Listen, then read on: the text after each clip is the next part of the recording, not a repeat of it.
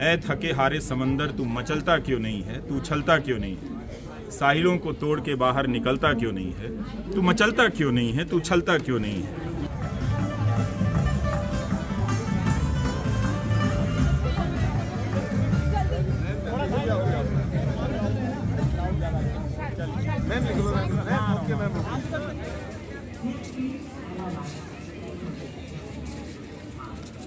नमस्कार हम हैं इस वक्त जयपुर लिटरेचर फेस्टिवल में जो क्लार्क्स होटल में हो रहा है जयपुर में। और माइक नहीं है तो क्या हुआ? आवाज़ मेरी तेज़ है। और हम आए हैं यहाँ पर आप देख सकते हैं यहाँ मेरी किताबें रखी हुई हैं। जो अंग्रेज़ी में आई थी अ, अ, अब ये फ्री वॉइस ये है। और इश्क में शहर होने होना का अंग्रेज़ी वाला अनुवाद है यहाँ पर। तो अ, इसका अनुवाद है, ये मेरी किताब है, लेकिन मैं बात सिर्फ़ अपनी किताब पे नहीं करूँगा। जो यहाँ पर किताबें हैं, एक नज़र में अगर आप देखें तो एक बदलाव नज़र आता है कि ज़्यादातर जो किताबें हैं, वो ऐतिहासिक व्यक्तियों के ऊपर हैं और जिनके ज़रिए उन्हें नायक बनाया जा रहा है। ऐसा लग रहा है कि उन्हें इतिहास में कम जगह मिली है। लेकिन इतिहास ने अपनी यात्रा बहुत अलग तरीके से तय की है। जब शुरुआती दिनों में इतिहास इसी तरह से लिखा जाता था, व्यक्तियों का इतिहास लिखा जाता था, उनकी महानताओं की चर्चा होती थी, लेकिन बाद में धीरे धीरे लगा कि इतिहास को देखने की यह समग्रता ये दृष्टि जो है, वो ठीक नहीं है। तो इसलिए बाकी और प्रक्रियाओं पर भी नज़र डाली जाने लगी और जो शोधकर्ता हैं, वो उस तरफ़ चले गए। इसका मतलब यह नहीं था कि किसी व्यक्ति के योगदानों को उन्होंने छोड़ दिया है। लेकिन राजनीति अब तय कर रही है कि नहीं। आ, हम उसे अच्छा लगता है कि कोई उस आ, जब आप प्रक्रियाओं का इतिहास पढ़ेंगे तो बहुत वक्त लग जाता है समझने में सोचने में अलग अलग इलाकों में अलग अलग समय में आपको यात्राएँ करनी पड़ती हैं। मगर राजनीति चाहती है कि तुरंत कोई एक मूर्ति मिल जाए कोई एक नायक मिल जाए जिसके नाम पर भावुकता पैदा की जाए माला पहनाया जाए जयंती मनाई जाए और इस तरह से कहा जाए कि इतिहास में इनका अनदेखा हुआ है। तो ये एक बदलाव दिख रहा है कि बहुत सारे राइटर जो हैं वो व्यक्तियों के ऊपर लिख रहे हैं। बहुत सारे व्यक्तियों के ऊपर लिखी गई किताबें आ रही हैं। आप शुरू कर सकते हैं फ़िल्मों से।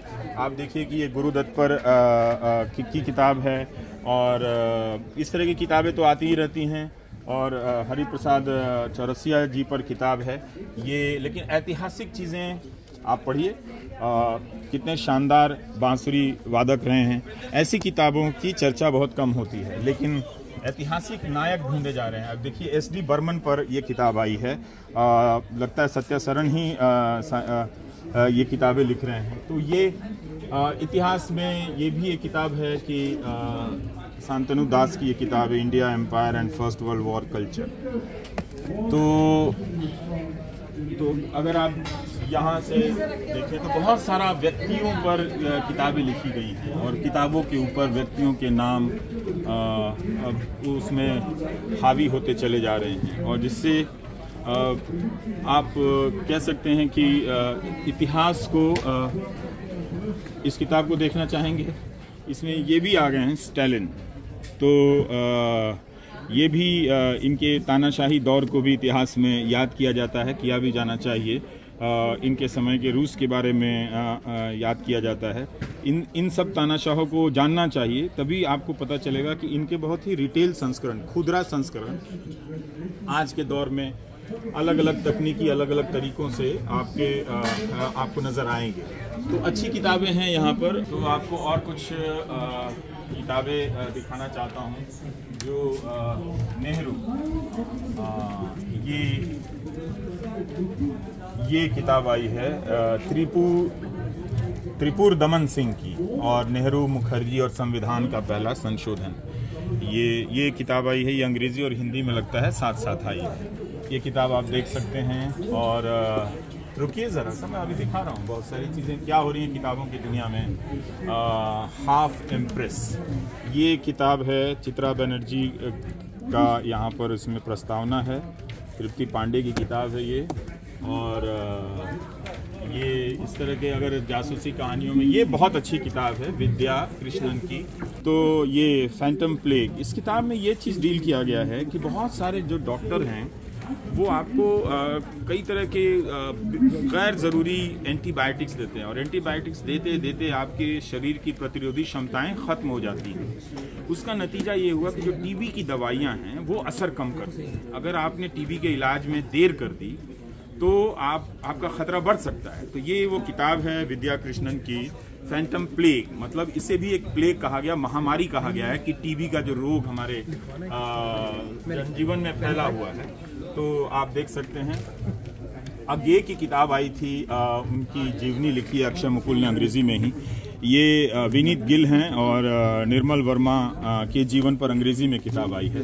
तो हिंदी के लोग अंग्रेज़ी में दिख रहे हैं अच्छी बात है। पहले भी दिखते रहे हैं तो ये कोई बड़ी बदलाव नहीं है। क्योंकि ये हाँ तो ये डरिम्पल साहब का कोना है। तो यहाँ पे उन्होंने अपने जीवन में इतनी किताबें लिख दी हैं कि कि आप देख लीजिए कि एज ऑफ़ काली तमाम तरह की किताबें हैं तो इन, इनकी किताबों के बारे में एक अलग से समीक्षक की ज़रूरत है। जो डरिम्पल की सारी किताबों को पढ़ता हो आ, उनकी किताबों को आ, ये भी किताब की काफ़ी चर्चा रही है। एनआरकी वाली किताब की वाइट मुगल की भी काफ़ी चर्चा रही है। तो एक सिटी ऑफ़ जिन की चर्चा रही है। तो एक अद्भुत लेखक हैं विलियम डेरिम्पल और नेताओं पर भी बहुत सारी किताबें हैं। और आपको क्या दिखो यहाँ कोई कोई किताब हमें आप रास्ता दे दीजिए नमस्कार थैंक यू थैंक यू तो राजस्थान के ऊपर अगर आप जानना चाहते हैं तो इतनी मोटी किताब राजस्थान के इतिहास में। तो अब बताइए कि इतिहास पढ़ता कौन इस देश में? ज़्यादातर जो अच्छे छात्र होते हैं या जो नहीं भी होते हैं, उनको ठेल ठेल के इंजीनियरिंग मेडिकल की तरफ़ धकेल दिया जाता है। जो मेडिकल में जाता है, वो अगला पंद्रह साल के लिए मेडिकल की किताबें पढ़ने में फिक्स हो जाता है। जो इंजीनियरिंग में जाता है, नौकरी और दहेज मिलते ही पढ़ना बंद कर देता है, ज़्यादातर लोग। तो अब अचानक आप एक सुबह उठते हैं, कहते हैं, हमें इतिहास नहीं पढ़ाया गया। तो ले, पढ़ लीजिए आप, ये राजस्थान की इतनी मोटी किताब है आइए खरीदिए। तो पढ़ेंगे नहीं, और फिर किसी मंच पे जाके किसी बहुत ही ख़राब किस्म के नेता से ज्ञान भी आप कैसे सुन लेते हैं कि इतिहास हमें नहीं पढ़ाया गया? उनसे पूछिए कि वो अपने जीवन में पढ़ते कितना घंटा थे तो उनको जवाब देते नहीं बनेगा। तो एक तरह से अब ये सब भी किताबें हैं आप देख लीजिए। ब्रिटिश इंडियन आर्मी पर लिखी गई हैं इतनी सारी किताबें हैं। पढ़ेंगे तब आपको पता चलेगा कि इतिहास में क्या क्या पढ़ाया गया है। विवेकानंद पे ये किताब आई है। किसी ने लिखा ही है। हिंदी इधर तो, हिंदी इधर है। तो ये हिंदी की दुनिया है। ये बहुत अच्छी किताब है, प्रभात रंजन की किताब है कोठा गोई और ये मुजफ्फरपुर, बिहार के मुजफ्फरपुर में एक जगह है चतुर्भुज स्थान। लेकिन मैं आपको एक बात बताना चाहता हूँ। बिल्कुल मत समझिएगा, मुझसे बिल्कुल ही प्रभावित मत होइएगा कि मैं कुछ ज़्यादा पढ़ता हूँ। बस एक तरीका जो मैं जान गया हूँ कि किताबों के बारे में मैं आपको कैसे बता सकता हूँ। पढ़ना आपको है, मैं नहीं पढ़ रहा हूँ। तो इसलिए मेरे बारे में ऐसी कोई धारणा आप बहुत जल्दी नहीं बनाइएगा। और ये जावेद इस किताब की काफ़ी चर्चा हो रही है जादू नामा की। और ये वो किताब है, रेत समा। ये मैंने पढ़ी है। ये मैंने किताब पढ़ी है। ये आपको भी पढ़नी चाहिए। बहुत ही अलग तरह का ये टेक्स्ट है। औरतें, औरतों के अपनी ज़िंदगी के ख्याल हैं कि वो अपनी वास्तविकता से हटकर अपनी कहानियों, किस्सों और कल्पनाओं के ज़रिए किस तरह से एक दुनिया रचती हैं और उस दुनिया में कोई सीमा नहीं है। आप कहानी किसी और प्रदेश में घट रही होती है, लेकिन कल्पना चल रही होती है पाकिस्तान के हिस्से की। तो बहुत ही सुंदर कहानी है कि औरतों के नज़रिए से अगर आप देखें, उनकी कल्पनाओं के नज़रिए से देखें, शायद इसलिए ये कहानी बहुत सीमाओं को पार करती है, इसलिए इसे इंटरनेशनल बुकर मिला है। और गीतांजलि श्री की यह किताब भी बहुत अच्छी है, माई। कहते हैं कि अच्छी है, ये मैंने पढ़ी नहीं है, पर मेरे पास है। तो आप देख सकते हैं और और हम आपको क्या बता सकते हैं कि बहुत सारी यहाँ पर किताबें हैं। नवतेज सरना ये ब्यूरोक्रेट हैं भारतीय विदेश सेवा में थे। और इन्होंने गुरु नानक पर गुरु नानक जी पर किताब लिखी है हिंदी में। ये शायद पिंगविन से आई है। तो पढ़ना चाहिए, ये हमारे हिंद, भारत के, की जो यात्रा रही है, उस यात्रा के ये बहुत महत्वपूर्ण यात्रियों में से एक हैं जो तमाम धर्मों की और उनकी उपस्थितियों को बहुत बेहतरीन तरीके से नानक समझते हैं और उन सबको मिलाकर एक शांति का सूत्र आप, आप आपको देने की कोशिश करते हैं। तो अगर आपको चाहिए शांति चाहिए जीवन में तो आप नानक के पास चले जाइए वो आपको अपना लेंगे। तो एक तरह से और आपको क्या दिखाऊँ मैं? और हिंदी की किताबें इतनी हैं ऐसे कैसे हो सकता है कि कि ये नामवर सिंह की किताब है। मनोरंजन भागा हुआ लड़का हाँ। ये है मनोरंजन व्यापारी की किताब है। ये भी आ, आ, बहुत ही इसकी चर्चा हो रही है एक तरह से। और हम्म तो अब और आपको कितना कुछ बताएँ? इसका मतलब यही है सिर्फ़ सिंपल बात यही है कि पढ़ा कीजिए।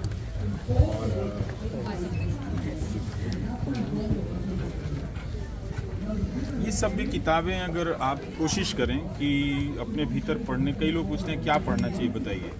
तो एक तो मैं कोई बाबा नहीं हूँ कि हर बीमारी का इलाज आपको बता दूँ, लेकिन हाँ अगर आप पढ़ना चाहते हैं ना तो अपनी रुचियों का विस्तार कीजिए उसमें प्रयोग कीजिए। अब ये किताब है शायद कोई ना खरीदे लेकिन 1971 के साल में बांग्लादेश की तरफ़ क्या लिखा जा रहा था तो उस तरह की कहानियाँ आप पढ़ेंगे तो आपको एक समाज को उसकी भावनाओं को भी समझने में आपको आ, मदद मिलेगी। आप थोड़ा सा और कुछ जानेंगे इतिहास को अपने समय को आ, समझने के लिए। आ, आप और बेहतर तरीके से जिसे कहते हैं लैस हो सकेंगे इक्विप्ड हो सकेंगे। तो आ, राना सफ़ी हैं। इनकी भी बहुत सारी किताबें हैं इतिहास और दिल्ली के इतिहास पे। तो अगर आप इनकी दुनिया में प्रवेश करेंगे तो आप दिल्ली को इतना जानेंगे इतना जानेंगे कि आप उससे बाहर नहीं आ पाएँगे। फिर आप कहेंगे कि हमें इतिहास पढ़ाया नहीं गया। इतने सारी किताबें दिल्ली के ऊपर लिखी गई हैं उसके इतिहास पे लिखी गई हैं। आप देख लीजिए आप पढ़िए दिल्ली के इतिहास के बारे में। तो और अगर नहीं लिखी गई हैं तो आप पढ़कर आप भी लिखिए। सिंपल बात है, इसका तो एक ही समाधान है, पर आप ये नहीं कह सकते कि हमें नहीं पढ़ाया गया और हम नहीं पढ़े। सच्चाई ये है कि आप पढ़ते नहीं हैं। और लिखने वाले इस देश में इतिहासकार बहुत कम है। कोई अगर मंत्री ऐसी बात कहता है तो आप उससे सिंपल सवाल पूछिए कि आपके आपके देश में इतिहास का कितना बजट है? उस पर रिसर्च का कितना बजट है? कितने लोग इतिहासकार हैं? इतिहास पढ़ाने का जो करियर है, वो इतना ख़राब क्यों बनाया गया? है इतिहास का मज़ाक क्यों बनाया गया? इन सब बातों को अगर आप पूछेंगे तो मैं आपको लिख के देता हूँ कि जनाब से एक एक एक जवाब देते नहीं बनेगा, उनकी हालत खराब हो जाएगी। लेकिन वो कहेंगे हाँ जी, इतिहास नहीं पढ़ाया गया, आप भी बैठे बैठे कहेंगे, इतिहास नहीं पढ़ाएँगे इतनी सारी किताबें लिखी गई हैं तो कोई लिख ही रहा है ना, कोई पढ़ ही रहा है ना। अगर आपको लगता है कि इसके बाद भी कोई किताब बच गई तो आप लिख दीजिए। तो ये सब जो प्रोपेगेंडा चल रहा है, इससे निकलिए। और हमेशा किताबों की दुकानों पे खरीदने के लिए मत आइए। देखने के लिए भी आइए कि इन किताबों की सूची को देखना इनके आ, कवर को देखना भी अपने आप में बहुत सुंदर अनुभव होता है। तो ये कितना सुंदर आ, ये देखिए गणित पे किताब निकल आई हाँ? और कुछ भी आप खींच ली तो आप जानेंगे यहाँ पर। कालिदास पर यहाँ पर किताब है। तो आप कैसे नहीं जानेंगे? तो इसलिए बहुत ज़रूरी है कि आप इसको, बहुत सारी किताबें जो है ना, हमें पता नहीं चलती हैं कि ऐसी कोई किताब आई है। तो अगर आप किताबों की दुकानों में भटकेंगे, आज नहीं, किसी और दिन ले सकते हैं आप, किसी और वक्त में ले सकते हैं। तो एक आखिरी किताब से अपनी बात खत्म करता हूँ। कैफी आजमी की किताब। हमने तो नहीं, मुझे नहीं मालूम था कि कैफी आजमी की यहाँ किताब रखी है। तो पढ़ दूँ? ऐ थके हारे समंदर, तू मचलता क्यों नहीं है? तू छलता क्यों नहीं? है साहिलों को तोड़ के बाहर निकलता क्यों नहीं? है यहाँ समंदर आप हैं, जो आप इस तरह के प्रोपेगेंडा के जाल में आ गए हैं। लेकिन ज़रूर कैफ़ी की नज़र में समंदर कोई और है, पर मेरी नज़र में समंदर आप है। तो ये भी एक तरीका है कि एक कवि की रचना, एक शायर की रचना अलग अलग वक्त में कैसे ट्रांसफॉर्म हो जाती है। ऐ थके हारे समंदर, तू मचलता क्यों नहीं है? तू उछलता क्यों नहीं है? साहिलों को तोड़ के बाहर निकलता क्यों नहीं है? तू मचलता क्यों नहीं है? तू उछलता क्यों नहीं है? तेरे साहिल पर सितम की बस्तियाँ आबाद हैं, शहर के मेमार सारे खानमा बर्बाद हैं। मैं पहली बार पढ़ रहा हूँ। तेरे साहिल पर सितम की बस्तियाँ आबाद हैं शहर के मेमार सारे खानमा बर्बाद हैं। ऐसी काली बस्तियों को तू निगलता क्यों नहीं है? तू छलता क्यों नहीं है? तू मचलता क्यों नहीं है? तुझमें लहरें हैं, न मौजें हैं, न शुर। जुल्म से बेजार दुनिया देखती है तेरी ओर। तू बलता क्यों नहीं? तू उछलता क्यों नहीं? तू मचलता क्यों नहीं? ऐ थके हारे समंदर, तू मचलता क्यों नहीं? तू उछलता क्यों नहीं? अब देखिए आपकी राजधानी दिल्ली में। इस देश की राजधानी दिल्ली में महिला कुश्ती खिलाड़ी धरने पर बैठी हैं कि एक ताकतवर सांसद उनके साथ यौन शोषण करने की कोशिश करता है, आरोप लगाती है। लेकिन महिला बाल विकास मंत्री बोल नहीं पाती और आप उनके समर्थक होकर बोल नहीं पाते। तो आप थके हारे लोग हैं। इसलिए कैफी को पढ़िए तो आपको समझ में आएगा कि क्यों नहीं आप मचल पा रहे हैं, क्यों नहीं आपके भीतर बेचैनियाँ पैदा हो रही हैं। इसलिए किताबों के नज़दीक आने की जो प्रक्रिया है ना, वो इतनी आसान नहीं है। ये जो फ्रॉड नेता है ना, वो आकर आपको बरगलाते हैं कि इतिहास हमें पढ़ाया नहीं गया। खुद ज़िंदगी में कुछ अच्छी चीज़ पढ़ते नहीं हैं। आपको ख़राब चीज़ें देते हैं, घटिया भाषण देते हैं और साथ में ये लेक्चर भी देते हैं कि इतिहास हमें पढ़ाया नहीं गया। इतनी सारी किताबें आप एक जीवन में पढ़ भी नहीं सकते। तो इसलिए कोशिश कीजिए कि आप अपने, अपनी किताबें, अपनी पसंद चुनिए। और ये किताब तो बहुत अच्छी हाथ में लगी तो ये सारी रिकॉर्डिंग वृंदा शर्मा कर रही थी और इनकी उंगलियों में देख रहा हूँ, दर्द होने लगा है तो मैं अब रुकता हूँ। धन्यवाद। नमस्कार मैं रविश कुमार।